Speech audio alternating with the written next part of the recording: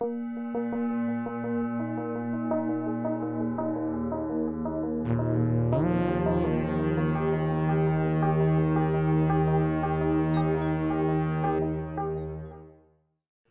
name is Greg Elin. I was the first chief data officer in the, in the federal government where I learned that compliance often required heroic efforts, which is why I'm here to talk about how to automate compliance if you aren't Chuck Norris. So first I want to thank DevOps for helping me learn how to automate. I have learned so much through DevOps days. And I'd also, of course, like to thank you, Chuck Norris, for letting me live.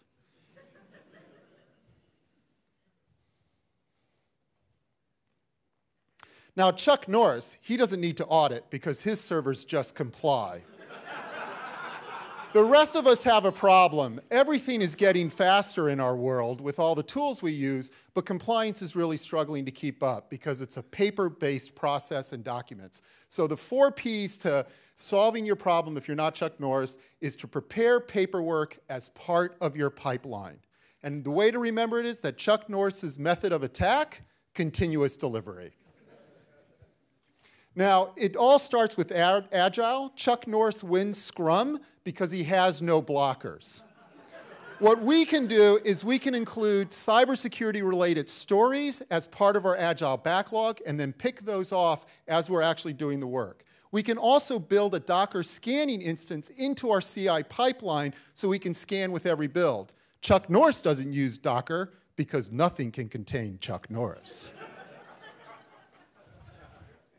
I want to repeat this point because it's really important. Security people in the room, let developers scan. There are some great tools from Opens, thank you, OpenSCAP, InSpec, Chef Audits. Now, scanning doesn't matter. To Chuck Norris, everything has a vulnerability. Now, Chuck Norris's servers don't go down, they throw down. So you can also include your penetration tests as part of your automated tests using tools like OWASP Zap or Gauntlt. And if you look, there are opportunities to integrate those directly with Jenkins. This is audience participation. Chuck Norris only uses Ansible, Chef, or Salt because Chuck Norris is nobody's. Very good. Excellent. All right, Chuck Norris replaced XML with YARC, yet another roundhouse kick. But open control is this new idea of replacing Word documents for compliance with YAML. You can go to opencontrol.org and you can learn more about it. That's what I'm going to talk about next through these slides. The major benefit is if we start using YAML, we can produce digital system security plans as well as paperwork plans. I don't know if you know, but Netflix replaced Chaos Monkey with Chuck Norris. If you treat your servers like pets, Chuck Norris will kill them. so don't treat your documents like pets either. The idea behind open control is to break them up and put them into code repositories and manage them like code. Chuck Norris is the one guy that doesn't have to do pager duty.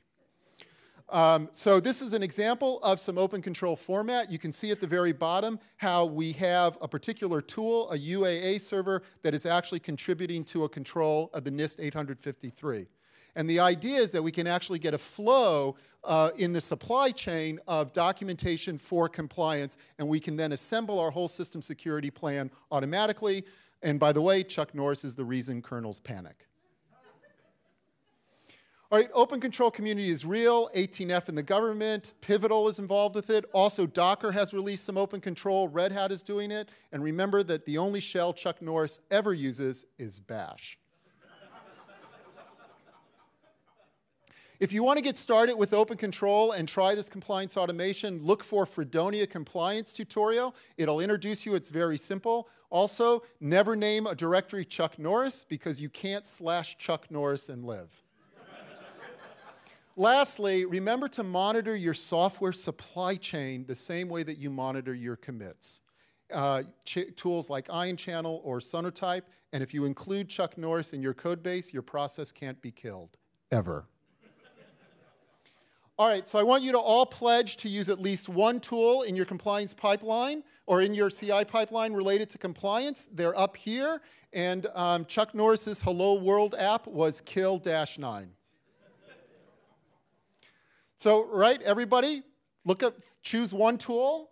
that you pledge to, to add to your pipeline that you're going to check out. Just choose one of those from InSpec to OpenSCAP to Sonatype, uh, et cetera. And remember that Chuck Norris is watching. Now, we can't all be Chuck Norris, but when we automate, Chuck Norris approves. Thank you very much.